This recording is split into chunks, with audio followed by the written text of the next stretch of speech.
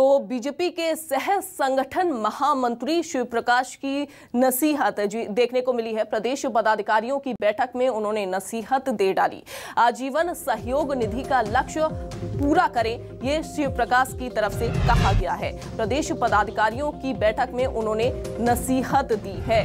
तो बड़ी खबर सामने आ रही है। आजीवन सहयोग निधि का लक्ष्य पूरा करें।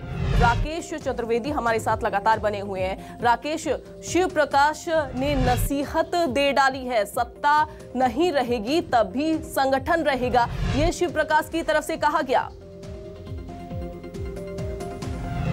देखिए बिल्कुल बीजेपी के हम राष्ट्रीय सह संगठन महामंत्री की बात करें तो वो मध्य प्रदेश के दौरे पर हैं बैठकें भी ले रहे हैं और उन्होंने जो बैठक के बीच एक सबसे अहम बात कही है ये कहा है कि संगठन जो है सत्ता से सर्वोपरि है और सत्ता के भरोसे संगठन को नहीं चलाना है। उन्होंने कहा है कि जो आजीवन सहयोग निधि का टारगेट है, सौ करोड़ का टारगेट तय किया गया है, उस टारगेट को पूरा करना है अचीव करना है। उन्होंने ये कहा है कि सत्ता के भरोसे संगठन को नहीं चलाना, सत्ता में नहीं रहेंगे तो भी संगठन चलता रहेगा। इसके हम मायने समझ सकते हैं कि संगठन है, मध्य प्रदेश में जो है लगातार सक्रिय बना हुआ है, सरकार पर नज़रें रखा हुआ है और सत्ता हाथ से ना फिसले, इसको लेकर सबसे अधिक फोकस किया जा रहा है। देखिए, हम बात करें जिस तरह से शिव प्रकाश का जो मुख्यालय है, वो राजधानी भोपाल बनाया गया है इसी लिहाज से बनाया गया है कि जो संगठन है संगठन कमज़ोर ना हो ऐसा ना हो कि जो सत्ता है संगठन पर ही भारी हो जाए। तो इस बयान के इस निर्देश के इस जो नसीहत है इसके कई तरह के मायने हैं और ये बताने का भी प्रयास कर दिया गया है कि भले ही सरकार में बैठे हो लेकिन हाँ सत्ता के तहत ही काम करना संगठन के तहत ही काम करना होगा।